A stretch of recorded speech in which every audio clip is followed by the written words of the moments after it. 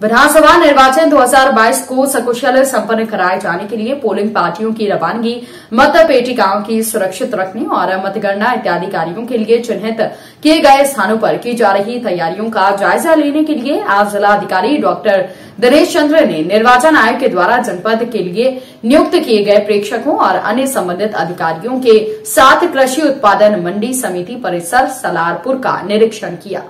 इसके साथ ही मंडी परिसर के निरीक्षण के दौरान जिलाधिकारी ने विभिन्न व्यवस्थाओं के लिए जिम्मेदार अधिकारियों से स्ट्रांग रूम मतगणना स्थल, पार्टियों की रवानगी, एजेंटों के प्रवेश बैठने आदि की व्यवस्थाओं के बारे में जानकारी ली। जनपद की सभी सातों विधानसभा निर्वाचन क्षेत्रों के लिए निर्धारित किए गए स्ट्रांग रूम स्थल का निरीक्षण करते हुए सुरक्षा मानकों पर विशेष ध्यान दिए जाने का निर्देश भी उन्होंने दिया। जिलाधिकारी ने यह भी कहा कि स्ट्रांग रूम से मतगणना स्थल तक ईवीएम को लाने ले जाने के लिए सुव्यवस्थित गलियारों की व्यवस्था की जाए और गलियारों को ऊपर से ढक दिया जाए ताकि मौसम खराब होने पर भी मतगणना का कार्य प्रभावित न हो पाए। मंडी परिसर के निरीक्षण के दौरान जिलाधिकारी ने मंडी प्रशासन को निरीक्षण के बाद निर्देश दिया कि निर्वाचन कार्य के खाली कराए गए स्थलों पर पर्याप्त साफ़ सफ़ाई, रंग और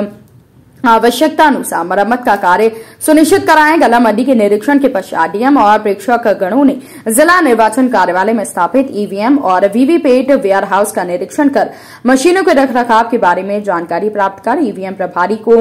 निर्देश दिए। निरीक्षण के समय बल्हा वरिष्ठ पुलिस अधीक्षक केशव कुमार, पुलिस क्षेत्राधिकारी नगर विनय कुमार द्विवेदी, अपर पुलिस अधीक्षक ग्रामीण अशोक कुमार वहीं साथ ही अन्य लोग उपस्थित थे।